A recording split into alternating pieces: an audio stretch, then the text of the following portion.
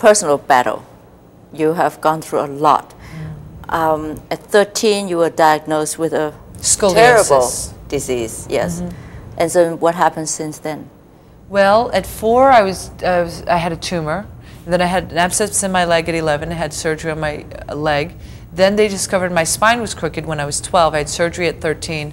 And they implanted two metal rods in my spine. They fused it all together. So, if you notice, I cannot, I can't bend at all. My entire spine is fused with metal rods.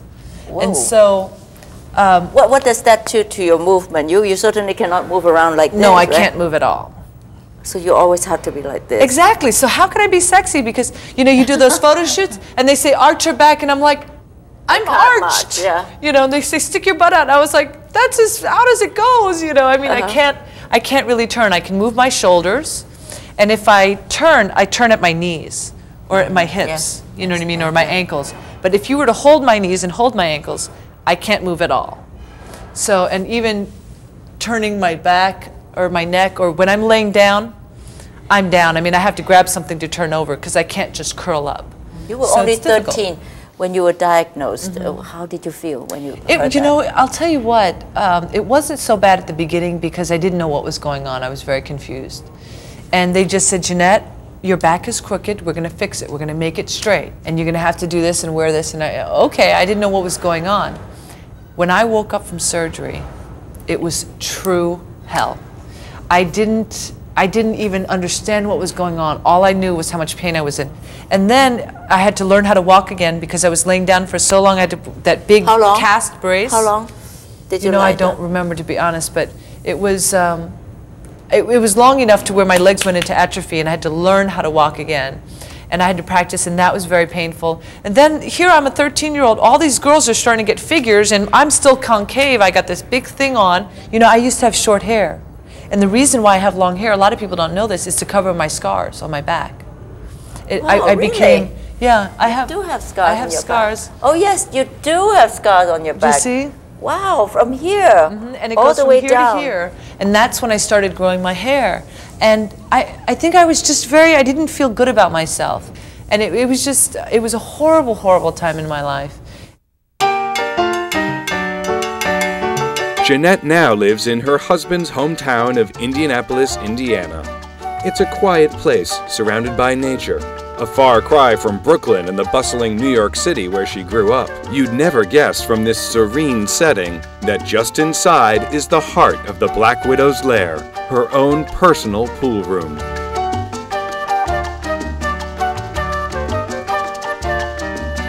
It is here that her husband, George Breedlove, gives the champion some competition. George is a retired pool professional, but he certainly has not lost his touch.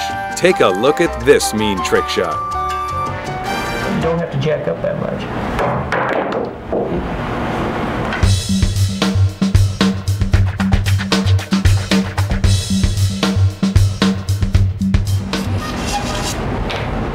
He can still show Jeanette a thing or two. Nope, nope, nope. Who do you think is better, you or I knew that was coming. I think that I I have, you think real hard now. I, I do. I think that I, I think that in certain ways I have more knowledge, and I think in um, certain ways he has more experience and more power. Uh, he has a lot of different weapons in his arsenal that um, are just incredible. So we, we have different strengths, but you know it's it's a battle. It's a battle. so she did not answer your question, which is did. good.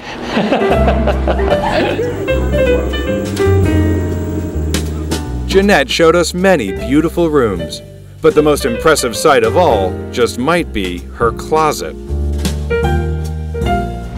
This is the Black Widow's closet. This is where I go before every tournament to decide what I'm going to wear. At least she doesn't have to pick a color. Blouses, pants, jackets, shoes. No wonder they call her the Black Widow.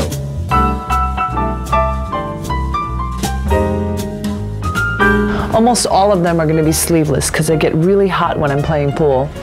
And then I just have some kind of jacket and different kinds of pants. I can wear a skirt, but I'm more comfortable in pants because a lot of times you have to really stretch and you have your legs wide open. I like this one also because it kind of looks like a web. This is bloodshed here. This is just don't mess with me. For me, I think it's important to feel sexy and feel strong when you're playing pool. I'm a woman and I want to feel strong. I want to feel um, aggressive and competitive and, and go out there and feel sharp and, and show some creativity. Jeanette and George recently added a new member to their family.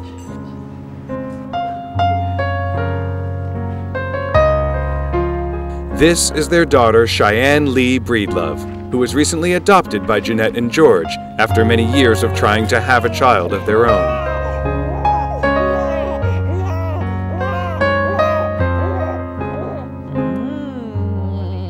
This is Cheyenne's little secret.